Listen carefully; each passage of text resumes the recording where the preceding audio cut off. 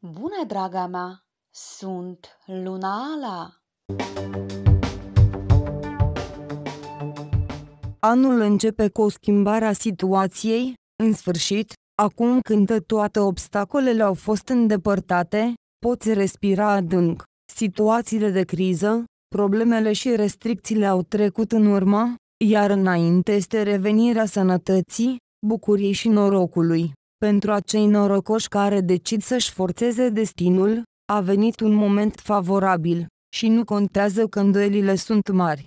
Ceea ce contează este că ești pe drumul cel bun. Prima săptămână anului nou va fi destul de calmă. Primele zile vor începe cu aspecte tensionate ale lui Venus cu Saturn, care vor aduce o oarecare reținere și izolare balanței, taurului și peștilor, aceștia vor avea tendința de a petrece timpul într-un cerc îngust sau chiar singuri, evitând companiile zgomotoase și locurile aglomerate. Capricornii și vărsătorul vor fi activi în comunicarea prietenoasă, dar este important pentru ei să se abțină de la criticile dure la adresa celor dragi, încercând să perceapă informații noi mai obiectiv și mai calm.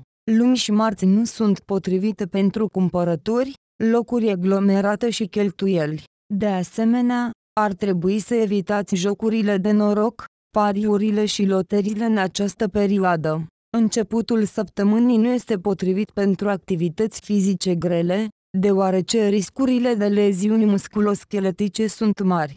Dacă ai fost singur de multă vreme, atunci viața ta personală, care a dormit într-un somn letargic, se pregătește pentru o trezire strălucitoare, ești pregătită pentru schimbări profunde, transformarea nu poate fi evitată și este timpul să mergem noi înșine către ea. Și dacă sentimentele atenuate pentru o persoană deja familiară revin, este logic să răspundem la acest apel, nu-i așa? În timpul vacanței, puteți obține idei noi pentru proiectele voastre. În această săptămână poți decide să începi o nouă afacere care îți va schimba viața în bine. Oamenii creativi vor avea ocazia să creeze opere de artă nemuritoare și, în general, vor putea simți un val de forță, inspirație și vor putea trece la un nou nivel în munca lor.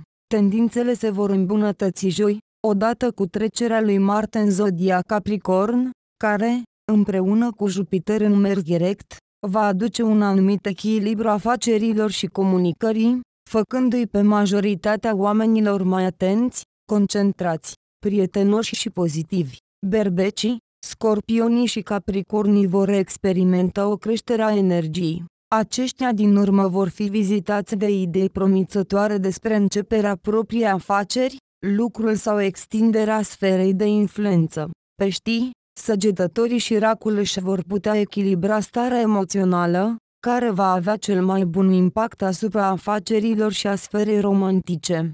Racii, cel mai probabil, vor trebui să fie implicați activ în treburile copiilor și ale rudelor. Quadratura lui Venus cu luna neagră la sfârșitul săptămânii poate distorsiona simțul frumuseții și stilului la fecioare, leu și balanță. Femeile vor încerca să se concentreze pe sexualitatea externă, iar bărbații vor începe să se poziționeze ca femeie. Dorința de a domina partenerii va fi inerentă în gemen și vărsător, ceea ce poate provoca conflicte grave în relațiile existente. Cheltuirea banilor în ultimele zile ale săptămânii este extrem de nedorită pentru toți reprezentanții zodiacului din cauza riscurilor mari de a cumpăra lucruri ciudate și inutile. Problemele legate de stima de sine și încrederea în sine pot deveni relevante pentru pești, balanță și taur, care vor avea ocazia să lucreze prin unele dintre complexele lor. Quadratura Soarelui și Chiron în a doua jumătate a săptămânii va forța un accent pe relațiile dintre femei și bărbați în contextul rivalității și al neacceptării reciproce. Femeile pot realiza brusc că partenerii sau soților le percep mai degrabă ca niște concurenți decât ca aliați, devalorizându-le realizările și succesele. Astfel de situații vor fi deosebite de relevante pentru leu și berbec. Primii se pot confrunta cu o reevaluare a percepțiilor asupra rolului tatălui în viața lor.